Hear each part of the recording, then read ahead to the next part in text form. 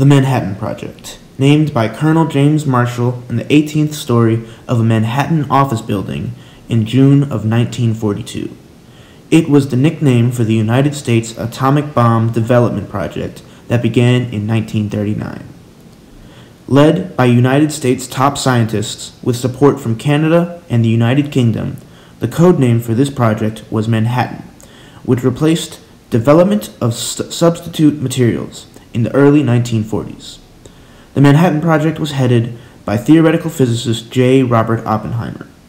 Oppenheimer and his team of scientists and engineers were tasked with designing and building a working atomic bomb, capable of wiping out hundreds of thousands if necessary.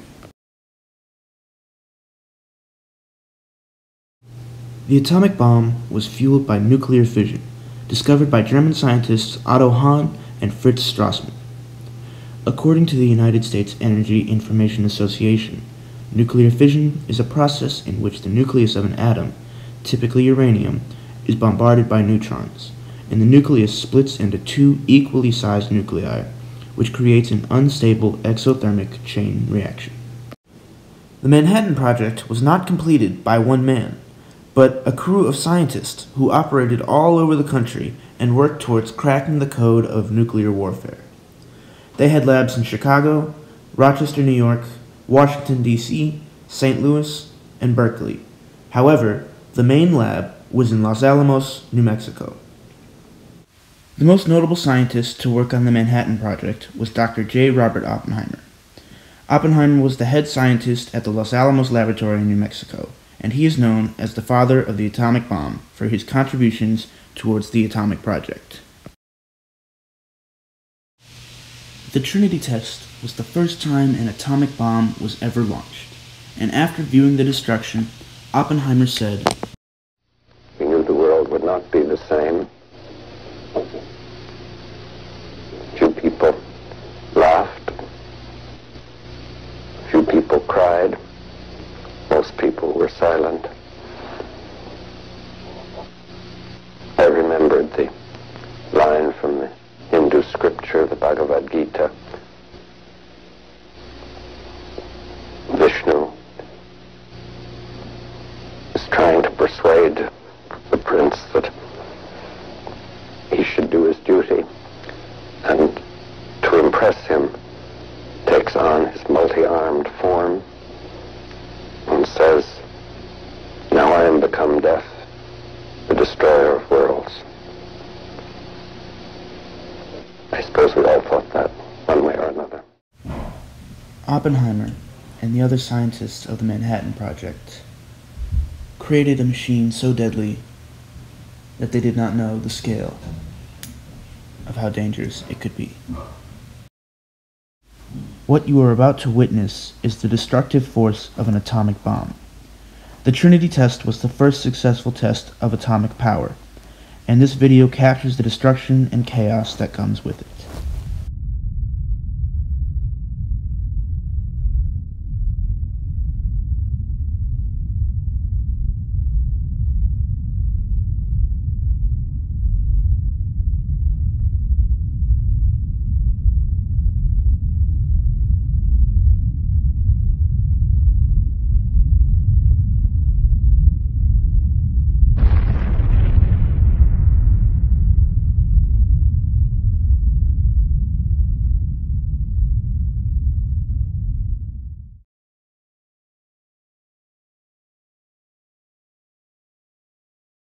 When World War II was won, the bombs had been dropped, and the Japanese had surrendered. Oppenheimer was appointed the position of chairman on the General Advisory Committee of the United States Atomic Energy Commission. Here, he continuously lobbied against the extension of developing the atomic and hydrogen bombs, as well as lobbying for international control of nuclear power. The man who had created nuclear destruction fought against its development.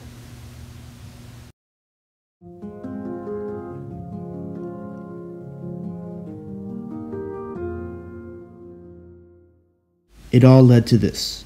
After a brutally long war in the Pacific Theater, America thought it was time to end. They had been fighting for years, and with Hitler committing suicide on April 30th of 1945, the Germans had surrendered a week later. For three more months, Japan and America continued to fight on the beaches and in the air. Japan was beginning to run out of resources, so they had begun using a principle called kamikaze warfare. Kamikaze was the act of using all of a pilot's fuel and bullets, and then they would use the last missile they had the aircraft and themselves. The Japanese warrior class had a code called Bushido. This code dates back to the 8th century and emphasized honor and loyalty above all else. Many believe this is why Japanese pilots began kamikaze attacks. The Allied powers knew this was a problem, and they needed to find a different solution. They had prepared to invade Japan, but the Japanese saw the United States plan coming. They had prepared counterattacks, and on June 15, 1945, a study by the Joint War Plans Committee estimated the invasion, codenamed Operation Olympic, set to begin on, in October of 1945, would result in at least 130,000 United States casualties. So, the United States began to perform air raids on Japan's major cities. This process had been occurring for a few years before the atomic bombs and consisted mainly of firebombing. The process of firebombing worked especially well in Japan's major cities like Tokyo and Kyoto, due to many civilian buildings being constructed of wood and other easily flammable materials. However, the Japanese continued without hindrance.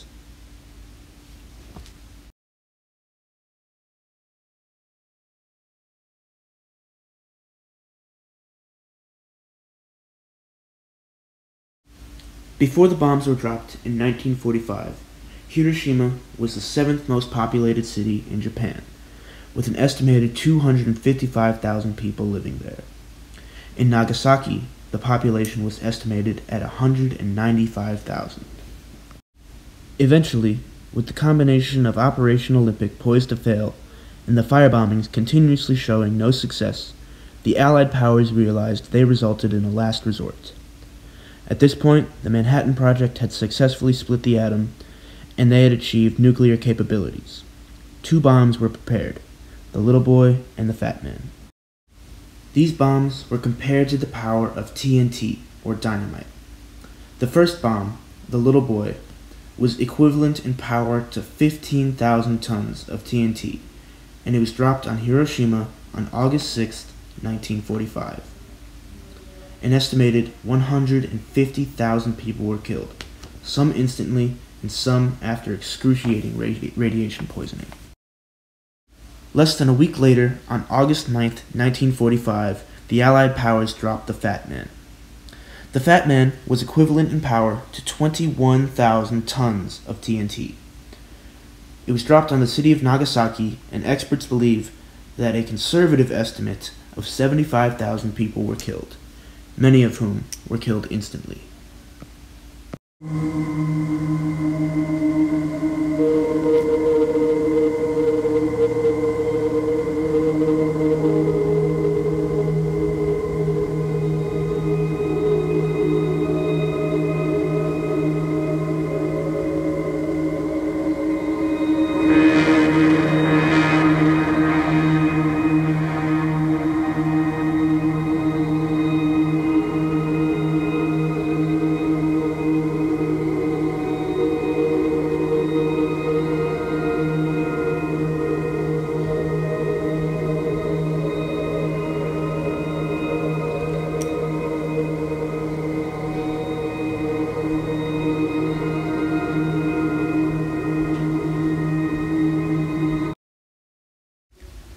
Japan finally offered surrender on August 14, 1945, after suffering catastrophic loss in civilian life and devastation to their country. Officially, World War II ended on September 2, 1945. United States General Douglas MacArthur accepted Japan's formal surrender aboard the USS Missouri, anchored in Tokyo Bay. The Manhattan Project, a mysterious cross country effort to develop the nuclear bomb. Led by Dr. J. Robert Oppenheimer, the Manhattan Project would change the course of warfare forever. Now, nuclear warfare has become much more dangerous, much more likely, and much more terrifying. The Manhattan Project guaranteed the Allied powers would win World War II, but it also guaranteed the threat of nuclear war that would hang over the heads of Americans for the rest of time. A simple chemical process that begins with a chain reaction created a chain reaction that continues to terrify millions.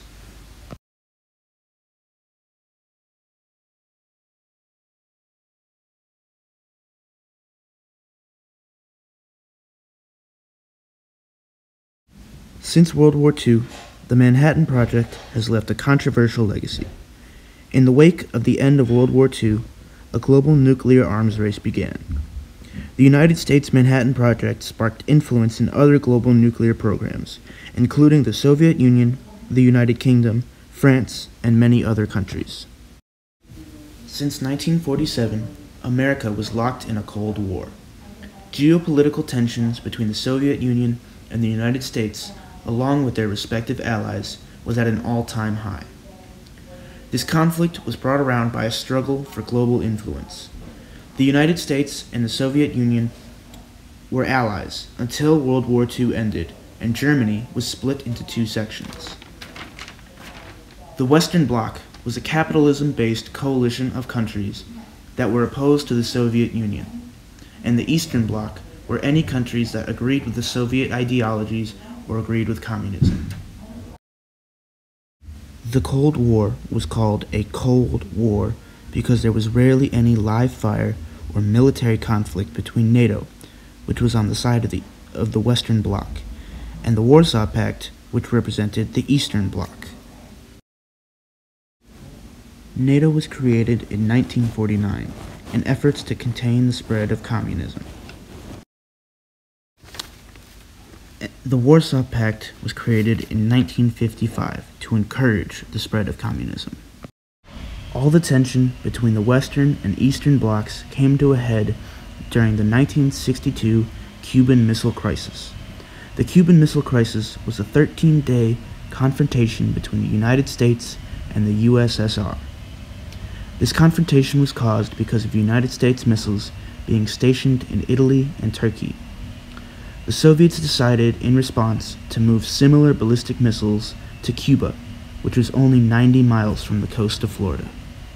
The Cuban Missile Crisis and the Cold War led to years of espionage and turmoil between the United States and the USSR.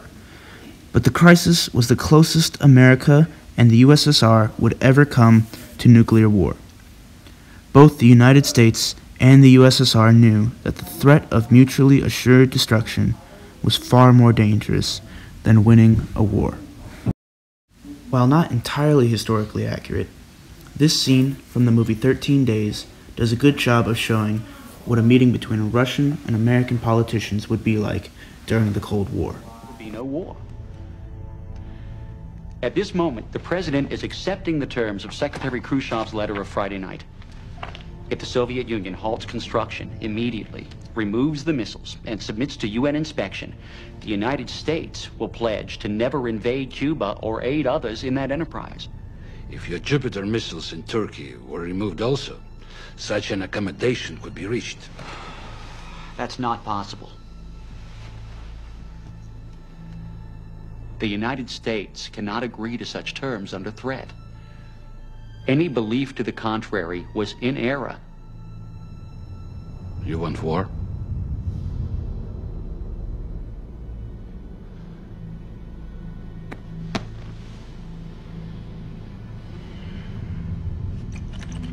However, while there can be no quid pro quo on this issue, the United States can offer a private assurance.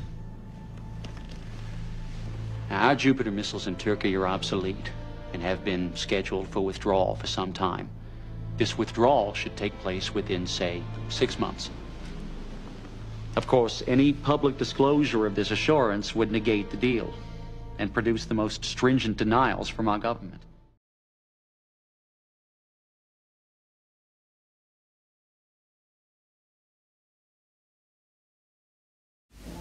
The Manhattan Project's legacy wasn't 100% dangerous, though. there were many peaceful nuclear innovations, including sustainable nuclear power and nuclear reactors. That is what the second half of this documentary will be about. There are a few things about nuclear power you should know. While it is very efficient and gives off zero emissions, it is incredibly complicated. As well, it is very expensive to build new nuclear reactors. This is a video that should put nuclear power into simpler terms. Picture it like this. This stovetop represents stable uranium. It has not been split yet, but it will be soon. Now it's been split, and it is unstable, and it's providing quite a bit of heat. And the heat needs to go somewhere. So, this is what the teapot represents, H2O. You see, normally, with nuclear power, the teapot would be heated instantaneously, and all the water would turn to steam. But I use this teapot example to represent the steam that would then go through the turbine.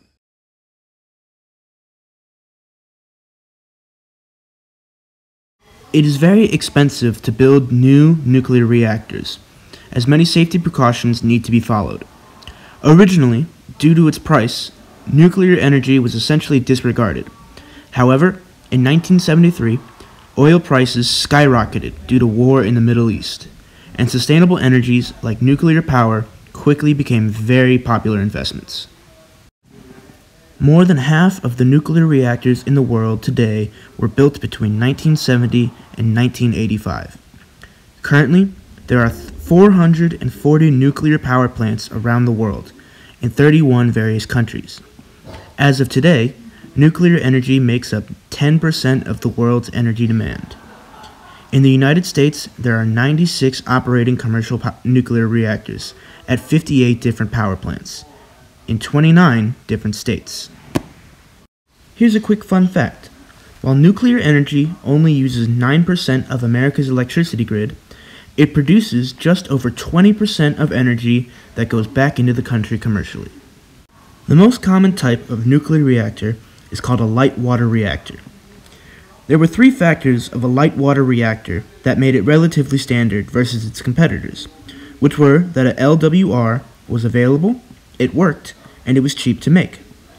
It uses nuclear fission to instantly convert water to steam, which is then sent through a turbine that powers a generator.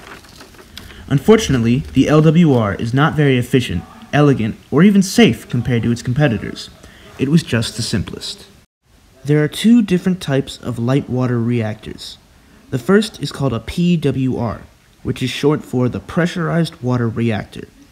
The other is called a BWR, short for boiling water reactor. Because both of these reactors use regular H2O, or water, as a coolant, they are both classified as light water reactors. Currently, there are 359 light water reactors in operation in 27 countries. This means that the LWR makes up 81.6% of the planet's nuclear power. In 2016, Unit 2 at the Watts Bar Nuclear Power Plant was completed. Construction on Unit 2 was started in 1973, but it was halted alongside Unit 1 in 1985. While both were 80% completed, only Unit 1 was allowed to be finished in 1992. Unit 1 was completed on January 1, 1996, and commercial operation began on May 5, 1996. Unit 2 was allowed to be finished on August 1, 2007, and commercial operation began in October of 2016. After multiple safety updates and delays, on October 19, 2016, Unit 2 of Watts Bar Nuclear Plant was the first nuclear reactor since 1996 to enter commercial operation.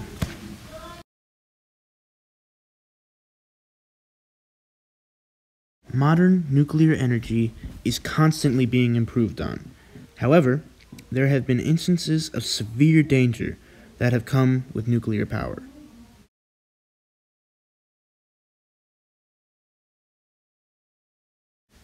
There have been three major incidents that have deterred many people away from nuclear energy.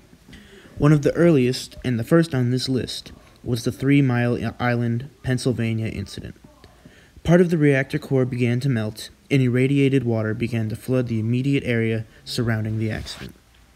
This is a news clip taken from Harrisburg, Pennsylvania, that happened a few days after. It was the first step in a nuclear nightmare. As far as we know at this hour, no worse than that. But a government official said that a breakdown in an atomic power plant in Pennsylvania today is probably the worst nuclear reactor accident to date. There was no apparent serious contamination of workers, but a nuclear safety group said that radiation inside the plant is at eight times the deadly level, so strong that after passing through a three-foot thick concrete wall, it can be measured a mile away. Gary Shepard reports from Harrisburg. The accident occurred here at the Three Mile Island nuclear power plant a dozen miles south of Harrisburg. At about 4 o'clock this morning, two water pumps that help cool reactor number two shut down. Officials say some 50 to 60,000 gallons of radioactive water escaped into the reactor building and that the radioactivity penetrated the plant's walls. Steam escaped into the atmosphere and radiation was detected as far as a mile away. At least 50 workers and perhaps twice that number were at the plant when the accident occurred. A spokesman admitted that some were exposed to radioactivity and may have been contaminated, but he claimed no one was injured. All workers were given extensive checks with Geiger counters as they left the plant. Reporters were not permitted inside the facility today, but this is what reactor number two's control room looked like last September when it was still undergoing testing. It went into commercial service only three months ago. Officials from Metropolitan Edison Company, which operates the plant, attempted to minimize the seriousness of the accident, saying the public was never in danger. We may have some minor uh, fuel damage, but we don't believe at this point that it's uh, extensive. The radiation levels at the site boundary are really only a tenth of the general emergency level where we normally get to get concerned. We do have our crews out. We're, we're monitoring for uh, for airborne contamination. The amount that we found is, uh, is minimal. Uh, very, very small traces of uh, radioactivity have, have uh, been released from the plant. But the company's statements have not answered several important questions. How much radioactivity has already escaped from the plant? How high is the radiation level inside the plant? And is there still a high level of radioactive steam inside? The Nuclear Regulatory Commission has already begun a complete investigation into today's accident. Power company officials say it will be weeks, perhaps months, before reactor number two is back in operation. Gary Shepard, CBS News, Middletown, Pennsylvania. Luckily, no one was hurt during the Three Mile Island accident, but the same cannot be said for these next two incidents. In 2011, in Okuma, Japan, the Fukushima Daiichi reactor began to melt down. The accident was started due to the Tohoku earthquake and tsunami, which crashed into the power plant and ruptured the power plant, causing the meltdown.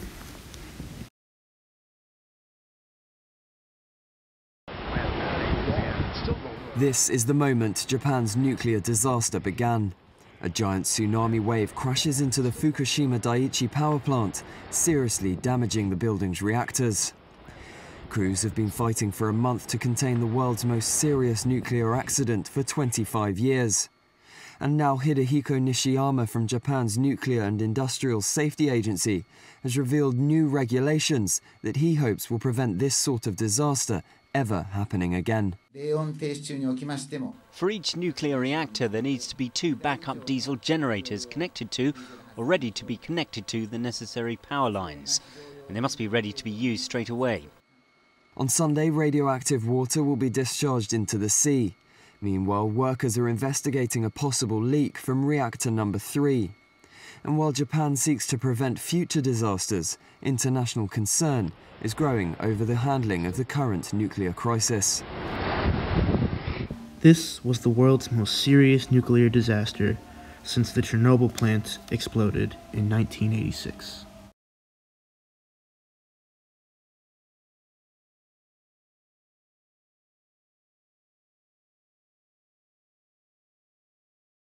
This is Pripyat. What was once a bustling city filled with families, animals, and life is now a ghost town. The plant life that grows here is poisonous, and the town is still dense with contamination. There is an exclusion zone of 1,004 square miles that covers a 30 kilometer radius. On April 24th, 1986, at 1 hour, 23 minutes, and 45 seconds past midnight, the Chernobyl power plant reactor 4 exploded. The Chernobyl incident is regarded as the single worst nuclear disaster of all time. A massive cloud of radiation directly threatened Russia, as well as almost all of Central Europe. The explosion itself would directly kill 50 people, and more than 4,000 people would die of radiation poisoning or cancer caused by radiation exposure. Ironically, the Chernobyl accident began because of a safety test on an RBMK nuclear reactor. The RBMK was a graphite moderated nuclear reactor type which was des- designed and built by the Soviet Union. The RBMK uses an unusual design which utilizes a cylindrical tank surrounding the reactor core, which is all inside of a concrete vault. Each fuel assembly is enclosed in an individual 8 centimeter diameter channel. This channel is surrounded by graphite, which allows cooling water to flow around the fuel. The RBMK had a dangerous flaw, which is what caused the explosion. At the time, every nuclear reactor in Soviet Russia had boron control rods. These rods were raised and lowered as necessary to control reactivity inside the core. However, the tips of these rods were made of graphite, as it was less expensive. On the night of the explosion, power in the power plant was supposed to be reduced to 700 megawatts, so a safety test could be performed. However, xenon had begun to poison the core earlier in the day. The team in charge of running this test intentionally reduced the power, but the reactor fell far below 700 megawatts, and they could not safely raise the power.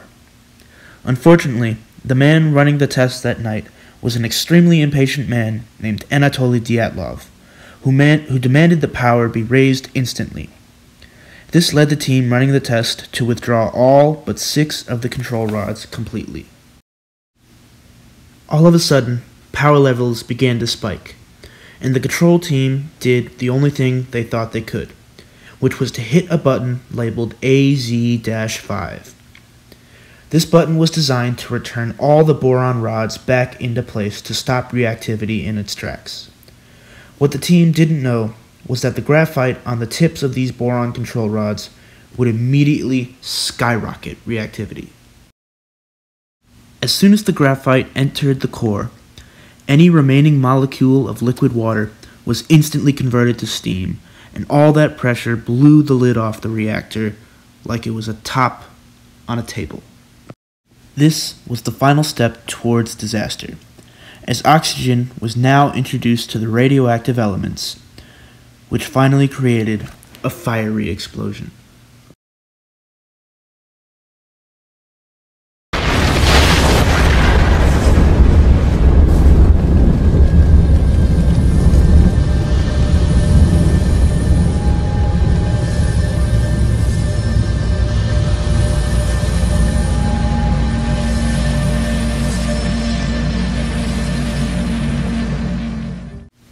This was a news report that came out on ABC News two days after the Chernobyl explosion. There has been a nuclear accident in the Soviet Union, and the Soviets have admitted that it happened. The Soviet version is this.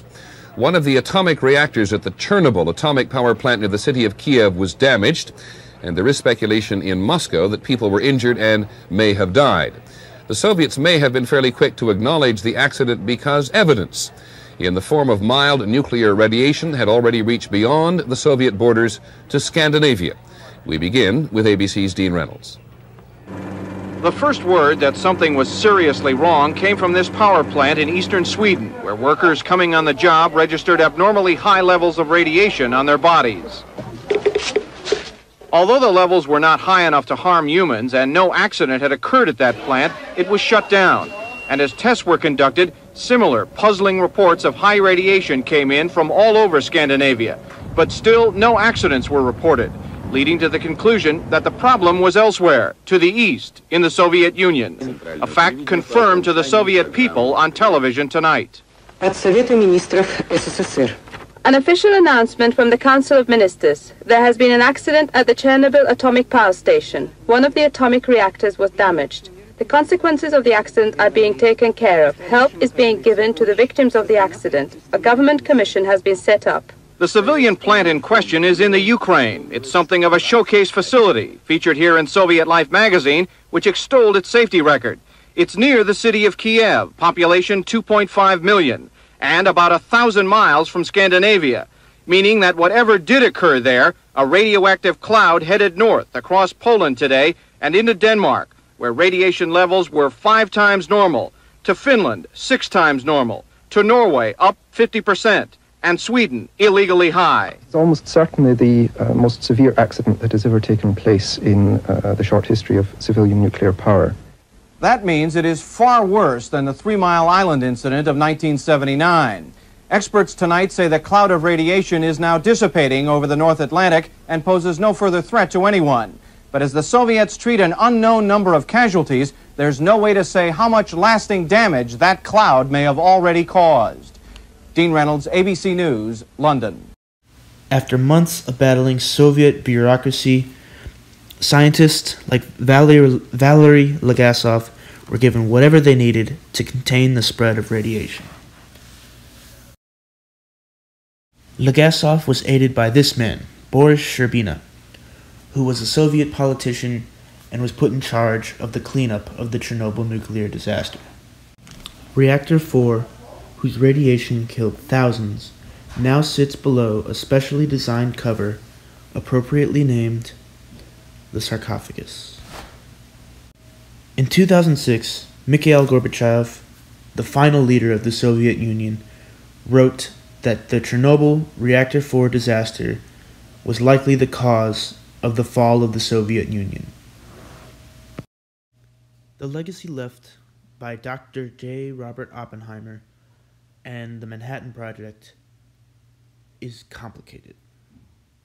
While we don't know what life would be like had they not developed the nuclear bomb, we do know that it brought about destruction and chaos. However, there is a light at the end of the tunnel. Nuclear power could be the solution that we've been looking for to global warming and to other major, major issues. To end this documentary, I leave you with what Dr. J. Robert Oppenheimer said after viewing the destruction caused by the Trinity test. We knew the world would not be the same.